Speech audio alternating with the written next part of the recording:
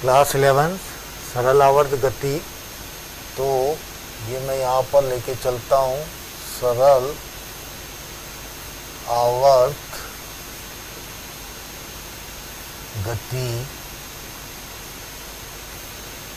में ऊर्जा। देखिए, सरल आवर्त गति में ऊर्जा हम यहाँ पर लेकर चलें। तो मैंने आपको ये बताया था कि ये पिंड कोई भी बॉडी है, ये सर्कुलर पाथ में मूव कर रही है। अपनी माध्य स्थिति X O X dash Y O Y dash पर यहाँ पर मूव करती है, ये एंगल थीटा ये एम ये कितना हो गया? ओमेगा टी ये हो गया ओमेगा टी ठीक है?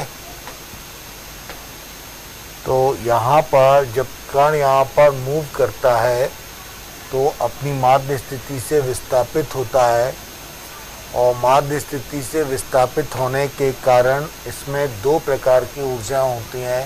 नंबर एक आ जाती है, गतिज ऊर्जा।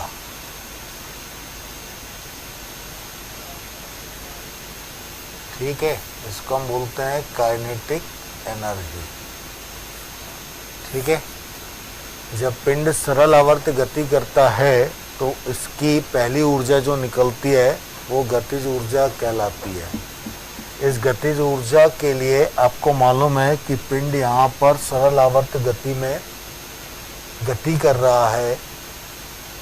तो विद्यार्थियों, आप लोगों को मालूम है कि गतिज ऊर्जा जो v होती है, वो आ जाता है omega under root A square minus Y square इसलिए मैं यहाँ पर ऐसा लेके चलता हूँ कि अगर ये जो बॉडी है, ये सरल आवर्त गति कर रही है और इसका द्रव्यमान m है तो इसकी गतिज ऊर्जा या काइनेटिक एनर्जी बराबर हाफ़ एम वी स्क्वायर तो हम इसको क्या लिख सकते हैं?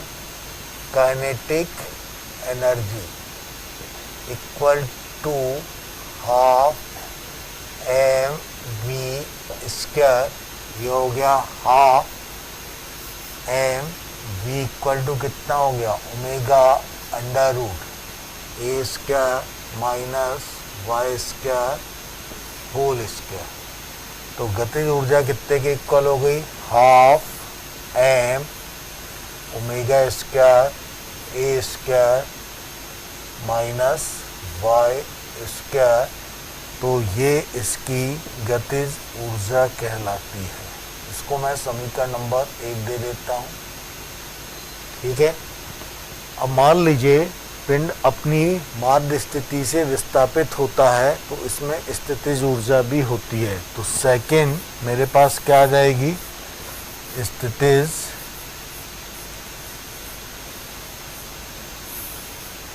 ऊर्जा। तो मैं इसको ऐसा ले लेता हूँ, माना इसको हम यू से शो करते हैं, माना बॉडी द्रव्यमान एम को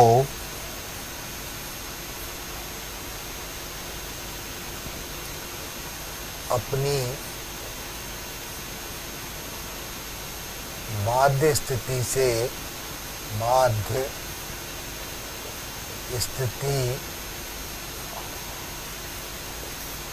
से थोड़ा सा विस्थापित किया जाता है। विस्थापित किया जाता है। तो माध्यमिक से थोड़ा विस्थापित अपन डी वाई ले हैं। डीवाई किया जाता है? तो किया गया सूक्ष्म कार्य? क्या गया सूक्ष्म कार्य में कितना मान लेता हूँ? डी डब्ल्यू हो गया। अब बल एफ़ लगा रहा हूँ। कार बराबर क्या होता है? बल गुणित विस्थापन। तो एफ़ इंटू डी एक्स बल बराबर मात्रा गुणित त्वरण। ये वाई लेके चल रहा हूँ। इसको मैं वाई कर देता हूँ। मात्रा गुणित त्वरण डी वाई ये हो गया डी डब्ल्यू आपको मैंने वो तो बताया था, चूँकि त्वरण एफ़ बराबर माइनस ओमेगा स्क्वायर वाई इसलिए मैं इसको ऐसा भी लिख सकता हूँ, ये जो त्वरण आएगा, ये F equal to omega square Y मैं यहाँ पर ये साइन को छोड़ दूँ तो क्या हुआ कार्य? D W equal to M omega square Y D Y इसलिए कुल कार्य कुल कार्य क्या होगा? इसका इंटीग्रेशन कर दीजिए। D W zero to W integration zero to Y M omega square Y D Y ठीक? डी डब्ल्यू का इंटीग्रेशन डब्ल्यू के बराबर हो गया। तो ये हो गया W from zero to W M omega square integration Y मेरे पास ये वाई है तो वाई कितने के? वाई डी वाई मान लो इंटीग्रेशन ज़ीरो टू वाई कुल के लिए कर दूँ तो ये किया हुआ? कार्य एम ओमेगा स्क्वायर वाई का इंटीग्रेशन कितना आता है? Y square by two zero to Y value रख दीजिए. W equal to one by two M omega square Y रखोगे तो वाई स्क्वायर माइनस ज़ीरो तो मेरे पास डब्ल्यू इक्वल टू कितना आ गया? Half M omega square Y square और ये जो आ रहा है, यही कार ऊर्जा के रूप में एकत्रित होगा। तो हम ले लेते हैं यही कार्य स्थिति ऊर्जा के रूप में स्थिति ऊर्जा के रूप में एकत्रित हो जाता है। एकत्रित हो, जाता है। ठीक है? तो स्थिति ऊर्जा को मैं U से शो करूँ तो U बराबर कितना आ जाएगा? जब भी मैंने निकाला, ये car half M omega square Y square तो ये मेरे पास स्थितिज ऊर्जा के रूप में आएगा। Half M omega square Y square यह आ गया समीकरण नंबर दो। ठीक है? इसलिए अगर मैं कुल ऊर्जा निकालूं तो कुल ऊर्जा ई तो ई बराबर मेरे पास कितना आ जाएगा?